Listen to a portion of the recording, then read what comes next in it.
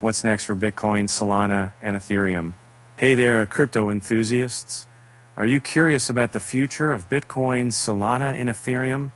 Well, buckle up because we've got some exciting insights to share with you.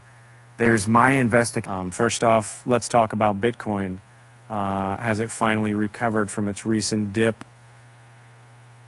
The charts say yes. In fact, it's looking good for our favorite cryptocurrency with a possible return to its all-time high on the horizon. But don't get too excited yet, folks. There's still a crucial resistance level to overcome first. Now let's switch gears to Solana. Wow, has it been on fire lately? It's been steadily climbing while the market was correcting, leaving many wondering if the rally will continue. Well, you've crunched the numbers, and it looks like Solana has a lot of room to grow. With strong support and a bullish trend breaking through the $200 resistance level seems within reach. Um, last but certainly not least, let's talk about Ethereum.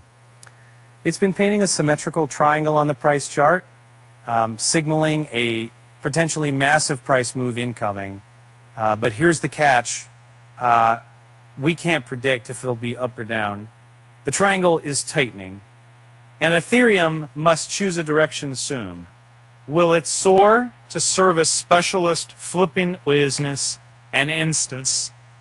But many will employ either or demand RC and will upload this. Uh, in conclusion, folks, uh, the future is uncertain, but these cryptocurrencies sure do look promising. All right, keep your eyes peeled and your wallets ready uh, because we're in for an exciting ride. With that said, thanks for watching and until next time.